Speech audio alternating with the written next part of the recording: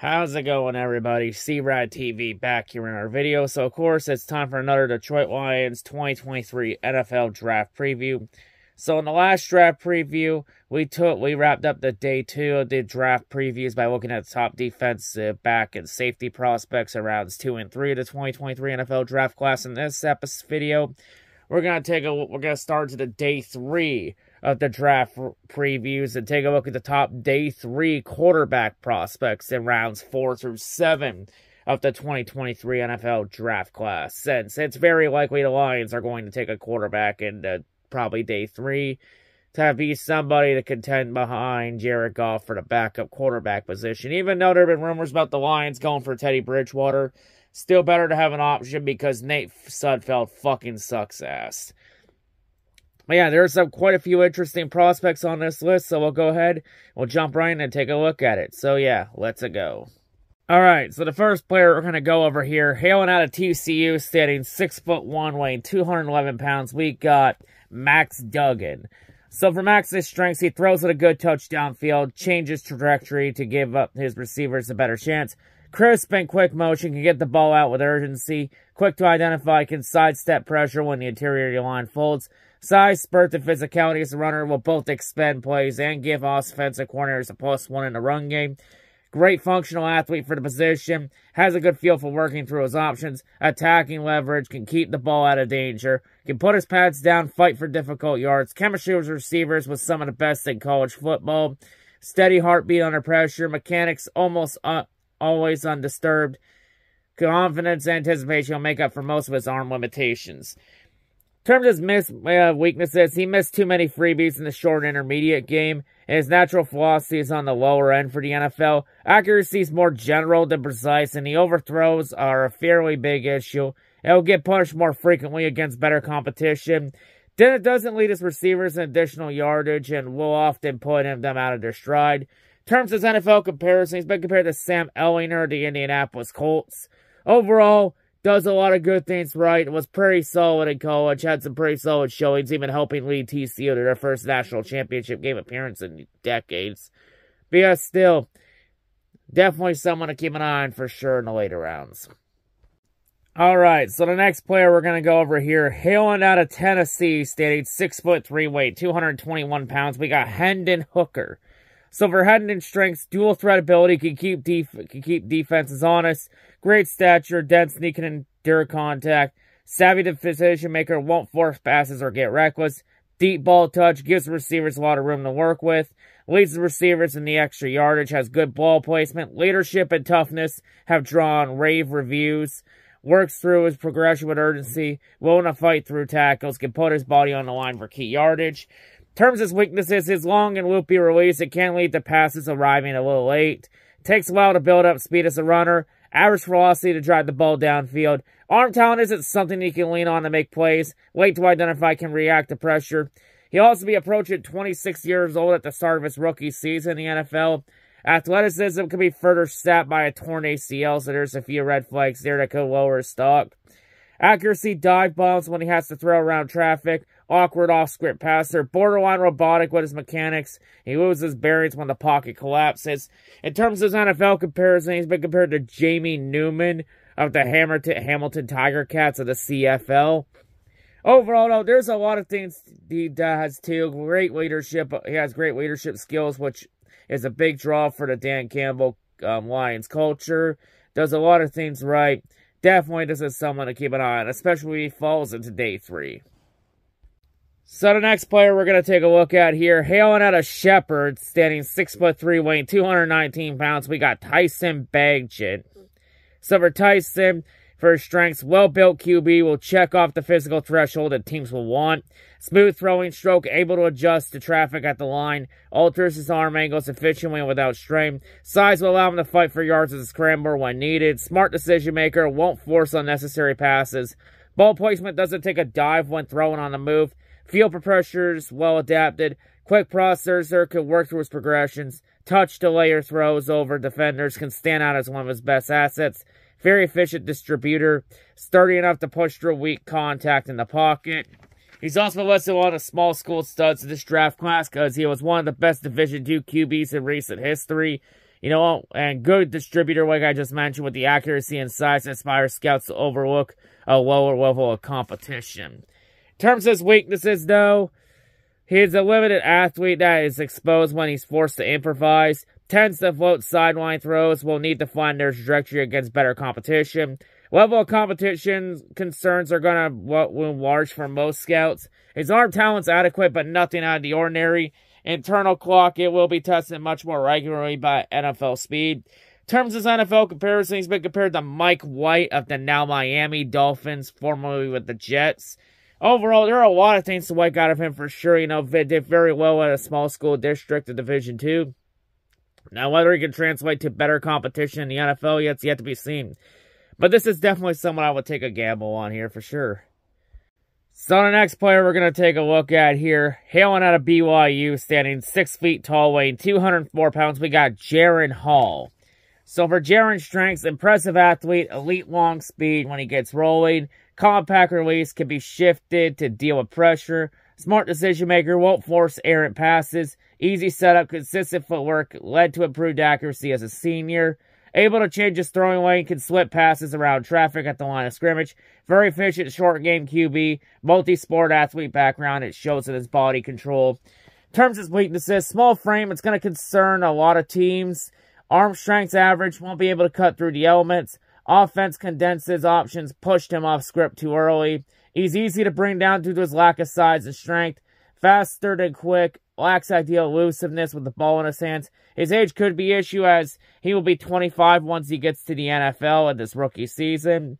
Um, strains to get the ball outside of the hashes. Passes are in deep trouble when he has to throw off his back foot. And good defensive backs will go duck hunt against him. Pressure gauge will take some time to accumulate to the NFL. In terms of his NFL comparison, he's been compared to now retired quarterback Connor Shaw. Overall, though, a few things that the light got him for sure. Good athlete player, could do a lot of things, but you know, size is, could be a concern. You know, definitely maybe someone as a backup for sure. So the next player we're gonna look at here, hailing out of Georgia, standing five foot eleven, weighing 190 pounds. We got Stetson Bennett. So for Stetson's strengths, he has crisp release, minimum waste in motion, Quick to react to pressure in his face, won't get caught off guard when the gap collapses. Sneaky, efficient scrambler, has enough quickness to pick up yards on the ground. Effective throwing off platform, good touch thrower, can layer passes over linebackers.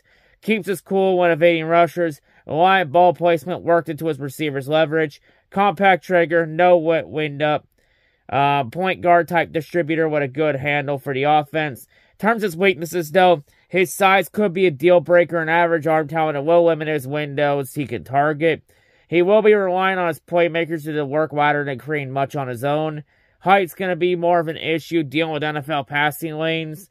Deep balls are a bit too easy to poach due to the arm strength limitations. Resume not be strong enough to offset the odd blend of physical traits. And for his resume, back-to-back championships in Georgia, that might not be enough. In terms of NFL comparison, he's been compared to Ian Book of the Philadelphia Eagles. Overall, there's still a lot of things to like for sure. A leader and a winner. You know, maybe someone to take a gamble to be the third string for the moment, but could go into a cute backup in the future. So the next player we're gonna go over here, hailing out of Purdue, standing six foot three, weighing 212 pounds. We got Aidan O'Connell. Silver 8 inch strength, clean footwork, overall setup, understands the need for touchdown field, can change trajectories and speed on his passes, drifts away from pressure, makes proactive adjustments in the pocket, good rhythm thrower, nice timing underneath, highly confident attacking leverage, team captain that draw him plenty of praise for his leadership and football smarts, won't make reckless decisions often, good chemistry and touch on back shoulder throws. terms of weaknesses, though, his limited arm talent will get tested by NFL game speed has to wind up and strain to generate enough velocity on deep balls. Marginal athlete struggles to extend plays, misses too many gimme throws by rolling away from contact and failing to change arm angles. He lost the camp out for the starting job in 2021 with Purdue, had to work his way back into the role. His paint within the line, style of play, play strength won't be enough to break through tackles. Throwing motion adjustability isn't consistent, and he has a bad habit of missing lurking zone defenders. Um, in terms of NFL comparison, remember compared to now retired quarterback Luke Falk. Overall, though, A lot of things to like out of him, you know, you know, definitely a leader of men with his leadership skills, which will draw interest from the Lions with the culture. And also great football smarts too. You know, makes good decisions too overall. But yeah, definitely this is someone to keep an eye on for sure. So the next player we're going to look at here, hailing out of Stanford, standing 6 foot 6, weighing 230 pounds, we got Tanner McKee. So for Tanner's strength, his frame's going to appeal to scouts who want a big passer that who can put on weight. Ball placement downfield is adequate for the next level. Touch throws that have some impressive accuracy when he works outside the hashes. Flashes are promising when he can take shots and play without pressure terms his weaknesses, though, he drops his eyes and looks for an exit path when he feels pressure rather than keeping his focus downfield. Limited athlete will get caught when he tries to leave the pocket. Internal clock doesn't tick properly. Release a bit winding. Late on too many throws will struggle anticipate throwing lanes. Accuracy timing falls apart under pressure. Unnatural and inaccurate throwing on the run. Rehearsed robotic. Doesn't know what to do when he starts to take on water in the pocket. Makes a ton of risky throws by misreading leverage. Arm talent's average by NFL standards. Abnormally high number of batted passes for a tall QB. He's also been a light push as a player that could disappoint the NFL level because he looks the part physically, has a good enough arm, but he crumbles under pressure and struggles to extend plays off script. Terms as NFL comparisons, been compared to now retired quarterback Brock Osweiler. Overall, though, there were a few flashes where he looked good, but he has a lot of red flags and a lot of issues. Just doesn't take pressure well. I honestly feel like the Lions could probably do better with other QB prospects here. I'd say pass. Alright, so the next player we're going to go over here, hailing out of UCLA, standing 6 foot 1, weighing 200 pounds, we got Dorian Thompson Robinson. So for Dorian's strengths, quick feet allows him to adjust efficiently when working through progressions.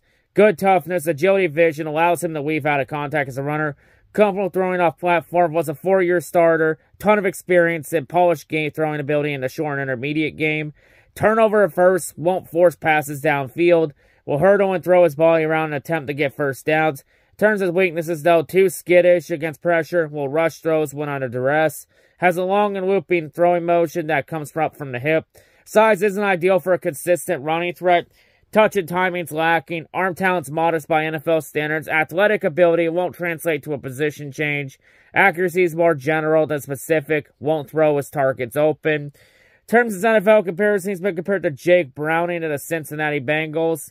Overall, there are a lot of things to like out of him for sure. Has great experience and makes a and has great game in the short intermediate game. Maybe someone to keep an eye on for sure.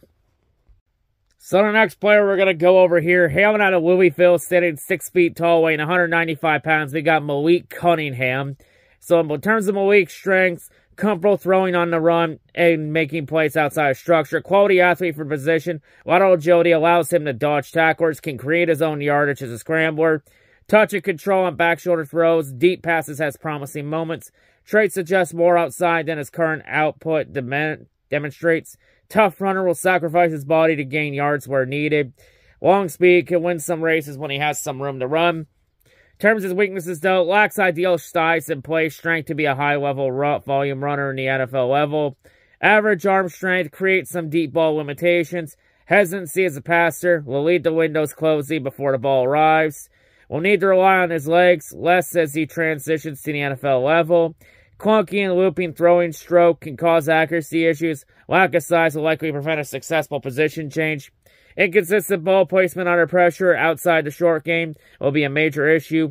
Feel for pressures underdeveloped. Flow and rhythm as a passer goes haywire regularly.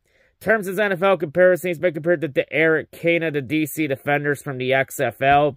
Overall, there are a lot of things to like out of him for sure. Does a good a lot of things right. Will do everything he can to help his team win. You know, feels like a Dan Campbell type player, you know. Well, think it's definitely worth taking a look at. And the final quarterback, the final player we're going to talk about in this video, we have hailing out of Penn State, standing 6 foot 2, weighing 213 pounds. We got Sean Clifford. So for Sean's strengths, decent build for position, adequate stature and bulk, athleticism gives him some off-script ability, can evade pressure, scrambles out into space if needed, easy throwing stroke on the run, doesn't strain to adjust when his feet aren't set, downfield touch throws are refined, can make change-up trajectories if needed, Quality pocket manipulator can slide and climb accordingly. Feel for surrounding pressure is honed on. Could test his way into being viewed as a position change candidate. Terms his weaknesses, limited arm talent, lack of velocity will make it easy for defenses to condense the field against him. Not deceptive with his eyes, will give away his attentions to defensive backs. Tends to load up on passes, makes him late to get to the ball out. Unable to adjust with pressure in his face, struggles to change his arm angle around traffic. Ball placement to the deep and intermediate levels off the field is questionable. Tendency to throw off his back foot will get punished by at the speed NFL game terms of NFL comparison, he's been compared to Nathan Rourke of the BC Lions of the CFL. Overall, there are a lot of things to like out of his game for sure. He do a lot of good things right. Gives him, like, a, his athleticism gives him some options. You know, maybe someone to keep an eye on for third string for sure. Maybe if he goes undrafted, maybe look at him for sure. But yeah, anyway, that'll wrap it up for this Detroit Lions 2023 NFL Draft preview. So yeah, there's some very interesting quarterback prospects to take a look at for sure in uh round in day three of the draft. There are quite a few prospects for sure, especially if the board um, falls in Detroit's favor and a few prospects fall in that fall in that area. You know, it could open the board up to some options for the Lions. But yeah, definitely some interesting prospects to keep an eye on for sure really like a decent amount of these prospects to be like good second or third straight stars. At least third straight stars for now. At the Lions do get up with Teddy Bridgewater, but could grow into a set to a backup QB option once um, the Lions are done with Bridgewater, or if they beat out Bridgewater for the starting QB job. Like easily, a good chunk of these prospects are way better than Nate Sudfeld because Nate Fudd Sudfeld's fucking ass. But anyway, now wrap it up for this draft preview. So the next draft preview, we're going to take a look at the top day three running back prospects since we could Lions might be looking at a running back in the draft for sure. You know, someone to be a third strainer behind D'Andre Swift and David Montgomery, especially if Swift goes down with another injury. But yeah, anyway, that'll be the next draft preview. But yeah, anyway, that's all I got to say. Hope everyone's a great day, and I'll see you whenever I make next. I'm out.